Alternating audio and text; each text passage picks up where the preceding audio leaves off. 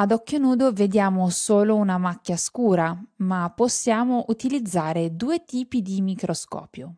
Il microscopio ottico è stato il primo ad essere costruito. Volete sapere come funziona?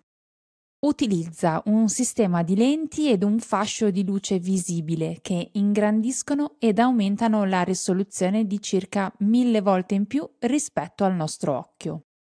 Il potere di risoluzione è 0,2 micrometri.